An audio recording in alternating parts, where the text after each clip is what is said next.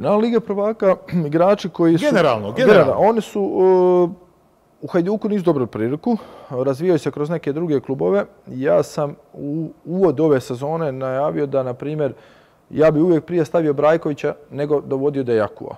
Dejaku iz Bajerna igrač, odličan, sve super, ali mislim da Brajković ništa loši u ovom trenutku nije i ne bi puno, puno zaostajao za Dejaku. Uh Hajduk ima, na primjer, slučajnost jednu, što potvrđuje ovu moju tezu, da je Sigur ušao na mala vrata i pokazao da igrač od minimalnog nekog ugovora, znači minimalni budžet, imaš igrača koji ti je al pari, ako ne i bolji od pojačanja koji si dobio iz Francuske prve lige.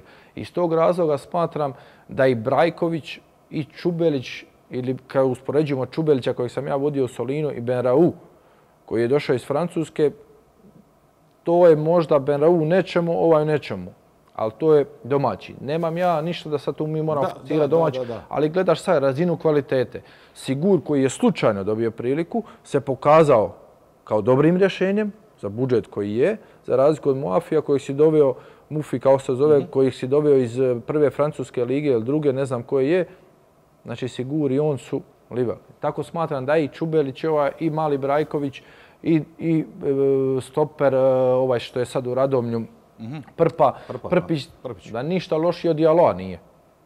To je moje neko mišljenje i potkrepljiva ga ovaj Sigur ove sezone, znači potkrepljiva moje mišljenje da ti igrači da su dobili, dobili priliku, ništa lošije od ovih igrača ne bilo. Da Hajduku trebaju pojačanja, trebaju, ali kvalitetna. Teško ga je pogoditi. E, imali, smo, imali smo dolazak, e, dolazak, e, kao se zvao igrač iz Turske, koji je možda za najveći ugovor igrao Hajduku, tražili su ga i Galatasaray. Ovo onaj, e, kako se zove? Edouk. Edouk, Edouk, bravo. Znači igrač, ozljede, on, kad, sam, kad sam ja dobio informaciju, Dobro, kad sam ja dobio informaciju da, da taj igrač je u Hajduk, znači nisam mogu vjerati, to je ekstrem, ekstrem, ekstrem. I on dođe u Hajduk, on je ugašan. Ne, ne vjerojatno. I sad ti trebaš takva pojačanja, to su pojačanja kad gledaš skautski dio sve, on dođe tu, ne pogodiš ga.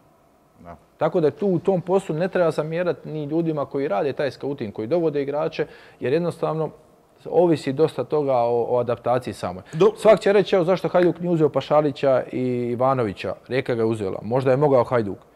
Ne znači da je taj Pašalić došao u Hajduk. Da bi to bio to. Možda ne bi sigurno. Jasno.